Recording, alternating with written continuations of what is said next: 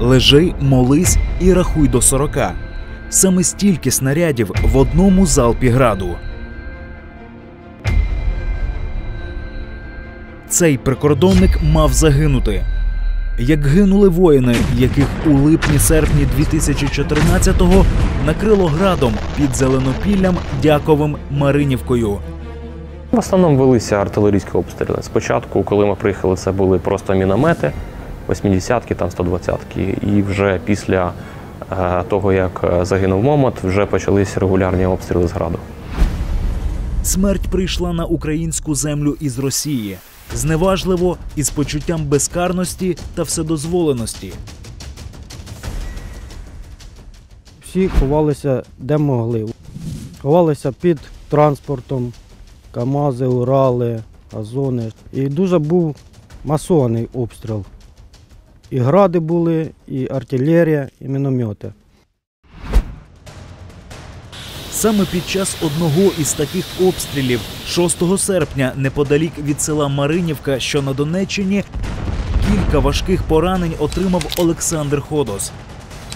Найстрашніше у голову. Осколок граду зніс прикордоннику півчерепа. Коли закінчився обстріл, я підповз назад туди узнати, як там хлопці. Побачив Сашу пораненого. Одного і Сашу Зайця другого. Він кричав: Ходос з вами. Він з КАМАЗа кричав. Коля, я здесь. Добре, я йду. Обидва Олександри, отримавши важкі поранення, стікали кров'ю. Мені прийшлося спочатку забрати Сашу Ходас. Коли я його перетяг до себе туди під передні колеса КАМАЗа, до нас під, підповз Сепеть Андрюша, це е, медик. Він зробив Саші укол.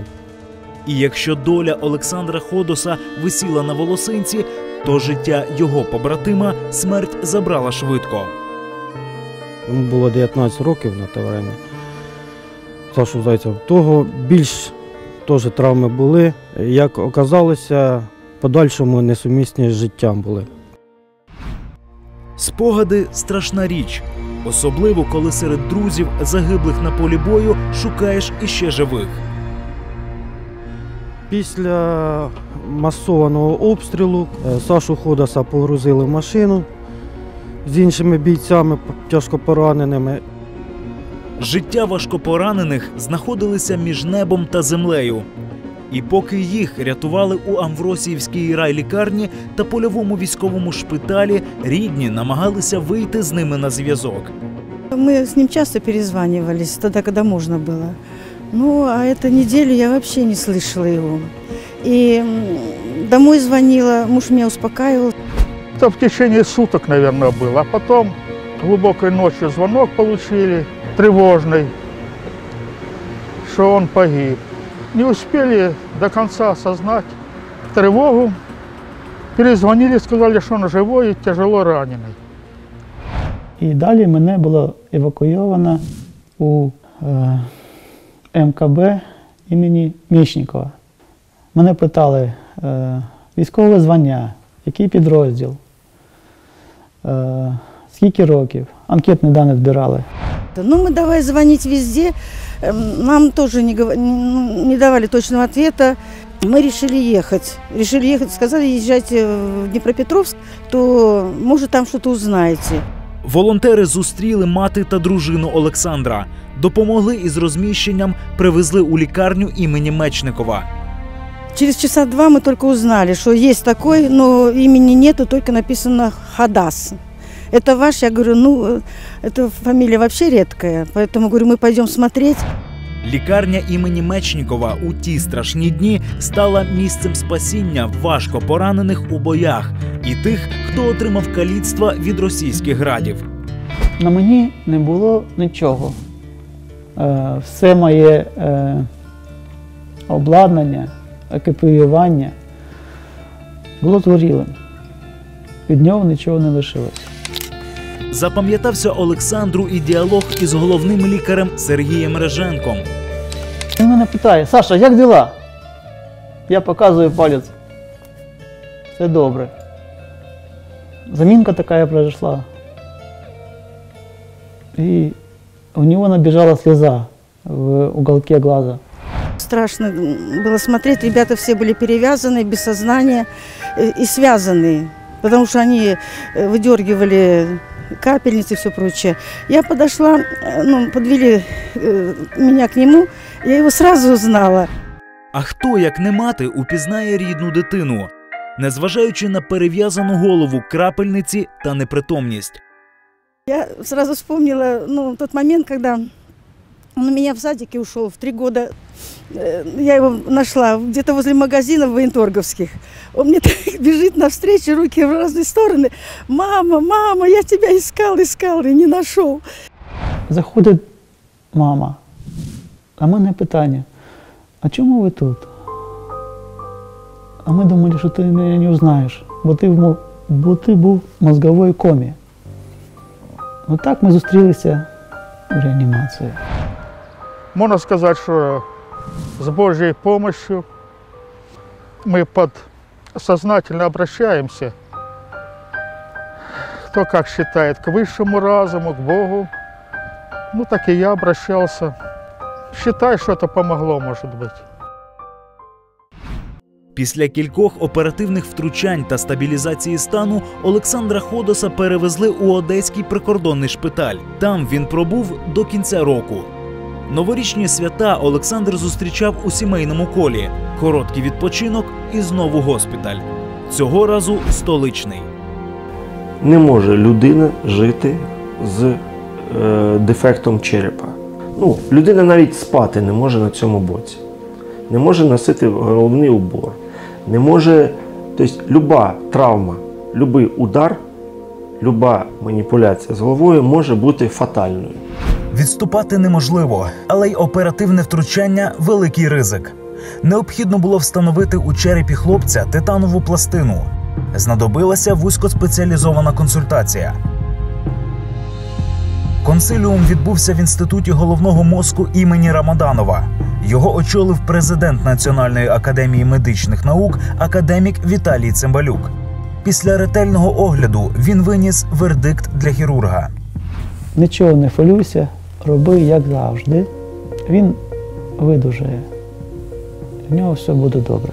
Це був е, певний виклик на той час, тому що е, такі операції в такому обсязі в Україні проводилися в окремих поодиноких випадках і мали такий ексклюзивний характер. На 3D-принтері був змодельований та надрукований череп Олександра зі всіма дефектами, які виникли через осколкові поранення. Нам потрібно було так відновити свод його черепа і е, відновити, повернути його до життя, щоб з одного боку він отримав гарний косметичний ефект, і по-друге, щоб не було ускладнень з, з боку головного мозку. Волонтери швидко знайшли та придбали титанову пластину необхідних параметрів. І одного ранку Розпочалась операція. Я лег на стіл, е, общий наркоз. Пам'ятаю слова печи борща. Ну как, Саша? Что ты чувствуешь? операція йшла цілий день. Ближче до півночі вона закінчилася. Це випадок, це досвід, це навчання і це гордість за роботу нашої, нашого відділення, фактично. Тому що е, це врятована якась людська доля і повернення до життя певної людини. Життя перемогло смерть. Сьогодні Олександр має вигляд і почувається як до літа 2014-го. Звичайно, із військової служби довелося звільнитися.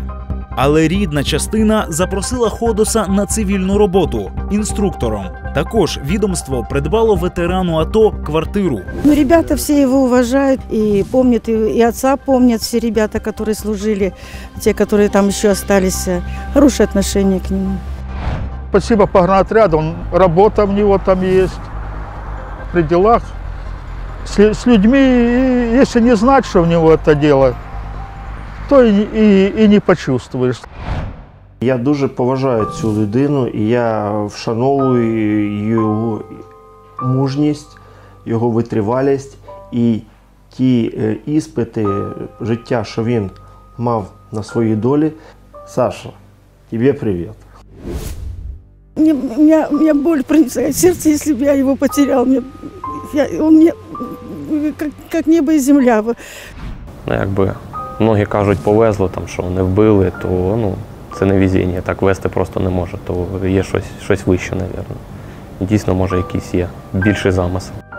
Коли Сашу побачив, я дуже за нього зрадів, що він вижив, все благополучно. Копатися у спогадах про запеклі бої на Донбасі справа важка. Там загинуло чимало українських воїнів.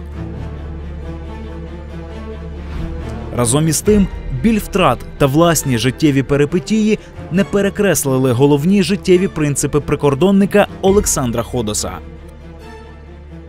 шлях, яким іде воїн, він завжди є непростим. Але якщо б мені трапилося пройти його знову, я з радістю би згодився.